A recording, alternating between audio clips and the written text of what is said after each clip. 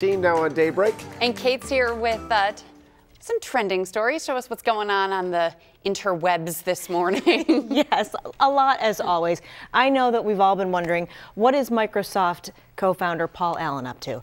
I ask myself every day. I mean, well, I have the answer. It's actually pretty incredible, pretty interesting stuff here. One of the things that he's been doing is looking for a World War II aircraft carrier that sunk 76 years ago. And he and his research team found it. Wow. And now we are getting a look at what remains of the USS Lexington. It is resting two miles down in the Coral Sea, about 500 miles off the coast of Australia. It was one of the first aircraft carriers built by the U.S. It went down in 1942 with 35 aircraft on board. A 216 crew members were killed. More than 2,700 crewmen and officers were rescued, including the ship's mascot, a dog named Wags. Mm. The search for Lady Lex involved about six months of planning. Allen is the son of a World War II veteran. He said it's just an honor to pay tribute to the men who served on the Lexington and lost their lives. But just some incredible video there. Yeah, and, and, there were several ships that went down during the, the Battle of the Coral Sea, so it'll be interesting to see if he can get some closure for a lot of other World War II families as well. Absolutely, and you imagine just what a large field that is and just an incredibly massive yeah. structure as well. Somewhere 500 miles off the coast of Australia. And two miles down. Yeah, not something you're going to stumble across on a surfboard or anywhere. Incredible find for sure, very interesting there.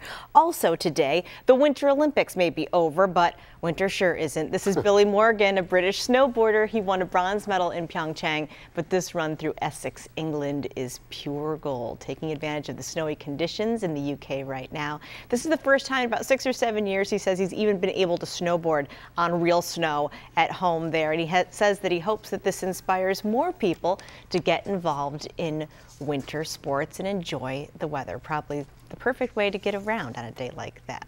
And finally, what is happening here, please? An excellent question. that is a good question. you are looking at a graduation ceremony.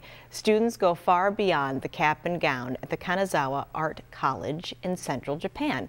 They accepted their diplomas in all kinds of costumes and it's basically hilarious to watch. Uh, the students who graduate from here uh, go on to make, a lot of them go on to make games for smartphones, which begs the question, what do they wear to the job interview? But there's one of them, this, this one made me laugh the hardest. it's so good. Oh, it's they so. their parents so proud. I know. I mean, there, there they have it. They've done it. They're also serious about it too. That's the best part. And if you look even closer at the video, the audience is hilarious because they're all in costumes, but they have very serious looks on their, you know, yes. face, a, I guess. Even a coffee pot. Yeah. yeah. wow. Yeah.